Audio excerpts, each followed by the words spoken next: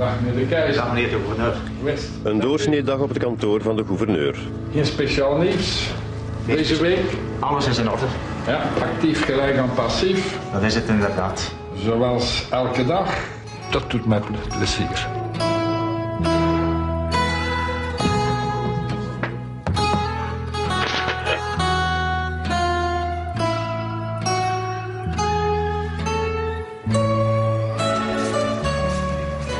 Ik ben eh, in Nationale Bank binnengegaan als stagiair bij Heinrich als gouverneur. Altijd economie, economie, economie. Altijd. En nu nog. Het is een obsessie. En hier in uh, heb ik altijd tot rust gekomen. En nu nog. En dat is dat contrast, hè.